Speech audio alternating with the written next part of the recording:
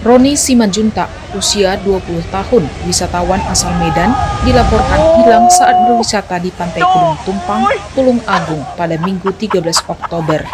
Ia hendak berfoto dengan teman-temannya, namun korban tiba-tiba terseret ombak hingga ke tengah laut.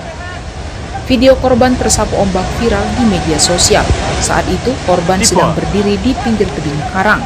Tiba-tiba dari belakang ombak besar setinggi 4 meter datang dan menyapu tebing di bagian bawah hingga ke atas. Roni pun terseret jatuh dari tebing ke lautan lepas.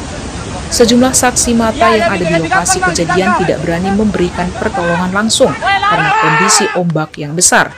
Korban sempat terlihat mengapung di sekitar kawasan pantai, namun tak lama kemudian menghilang.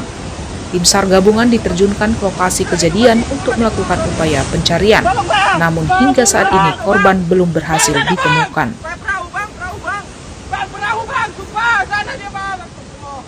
Jangan lewatkan berita menarik lainnya hanya di channel Toba TV. Follow, like, dan subscribe channel Toba TV untuk mendapatkan informasi terbaru lainnya. Horas